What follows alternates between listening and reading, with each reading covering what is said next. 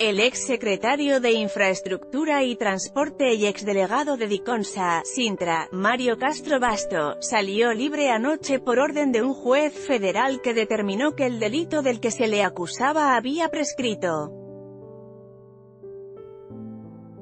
La liberación se rumoreaba desde la tarde La liberación del funcionario borgista ya se rumoreaba, pues fuentes al interior del Centro de Reinserción Social, Cereso, indicaron que les habían dicho que se prepararan para excarcelar a este sujeto.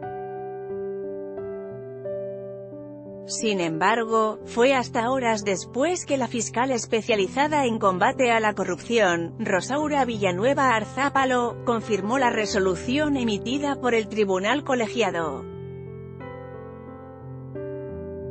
Se le acusa de irregularidades. Castro Basto fue detenido en Mérida, Yucatán el 19 de agosto pasado derivado de la investigación de la carpeta 151 sobre 2017, por las irregularidades de la empresa transportadora, VIPSA se trata del mismo expediente por el que se detuvo al expresidente de Solidaridad 2013 a 2016 y excandidato al gobierno del Estado por el PRI-PVM Panal en 2016, Mauricio Góngora Escalante, además de otro exedil playense, Gabriel Mendicuti Loria.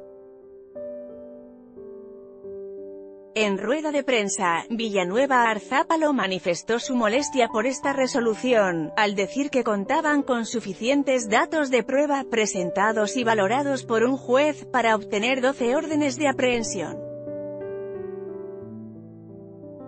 De estas, siete fueron combatidas por vía de amparo y las siete fueron confirmadas por jueces federales o tribunales colegiados.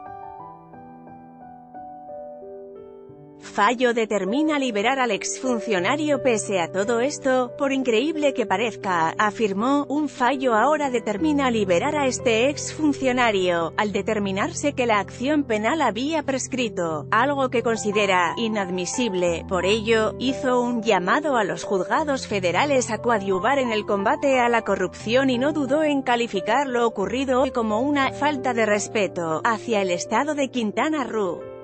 Añadió que no han tenido acceso a la determinación ni se les ha permitido combatirla, pero llegado su momento eso harán, podría quedar en libertad otros exfuncionarios. Admitió que tampoco sabe si este criterio podría servir para que otros de los 12 inculpados puedan quedar en libertad. En su opinión no hay prescripción, pues al no aclararse el desempeño irregular de la función, se trata de un delito continuo, criterio que no fue compartido por esta Corte.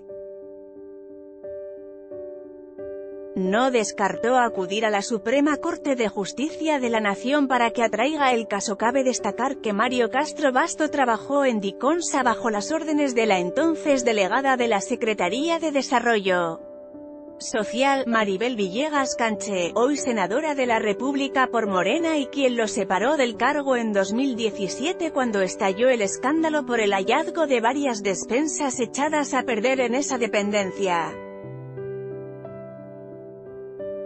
El sucesor de este funcionario confirmó que las compras y el padrón estaban inflados. Castro Basto fue detenido por la justicia estatal, no federal, por su participación en el Consejo de la Paraestatal VIPSAESA, cuando fue titular de Sintra.